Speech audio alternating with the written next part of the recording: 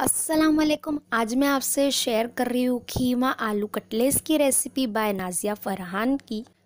इसकी return recipe Instagram page पे available है, उसकी लिंक डिस्क्रिप्शन बॉक्स में दिया गया है। बहुत ही इजी और बहुत ही टेस्टी खीमा आलू कटलेस बनाना शुरू करते हैं तो सबसे पहले दो कप खीमे को थोड़ा सा पानी डाल के अच्छी तरह उबाल लेंगी। खीमे को अच्छी तरह उबालने के बाद ठंडा कर लेंगे और उसे एक बाउल में ट्रांसफ़र करेंगे। दो कप उबले हुए और मैश किए हुए आलू ऐड करेंगे। मैंने यहाँ खीमे और आलू की क्वांटिटी सेम रखी हूँ। टू टेबल स्पून अदरक, लहसुन और हरी मिर्च का पेस्ट ऐड करेंगी।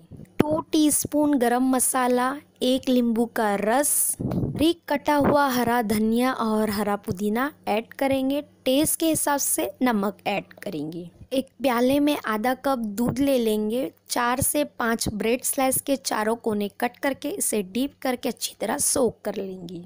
अच्छी तरह सोक करने के बाद अब हम इसमें डाल देंगे। आप चाहे तो पानी में भी सोक कर सकते हैं। हल्के हाथों की मदद से सभी को अच्छी तरह मिक्स करेंगे और इसे एक से दो घंटे मैरिनेशन के लिए छोड़ देंगे।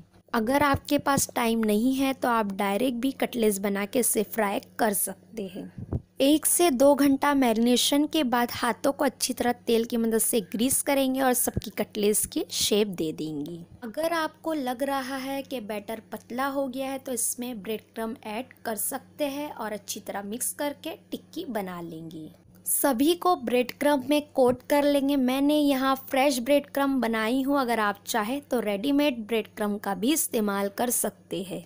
एक पैन में one fourth cup oil add करेंगे। जैसे ही तेल गरम हो जाए, टिक्की को बीट किए हुए एग में डाल के आहिस्ते आहिस्ते पैन में डालते जाएँगी। अब वो एक साइड से गोल्डन ब्राउन हो जाए, उसे पलट के दूसरी साइड से भी गोल्डन ब्राउन कर लेंगी। दोनों साइड से गोल्डन ब्राउन होने के बाद अब हम इसे प्लेट में निकालते जाएँगे तो हमारा खीमा आलू कटलेट बन रेडी हो चुका है। अब हम इसे ग्रीन चटनी, बारीक कटे हुए कैबिज और बारीक कटे हुए गाजर के साथ सर्व करेंगे। इस रेसिपी को ज़रूर ट्राई करें। इसके फीडबैक मुझसे मेरे कमेंट बॉक्स और इंस्टाग्राम आईडी पे पिक्चर्स के साथ सेंड कर सकते हैं। इंस्टाग्राम आईडी की लिंक डिस्क्रिप्शन में दिया गया है। ना ख्याल रखे और मुझे अपनी दुआ में याद रखे। अल्लाह हाफिज।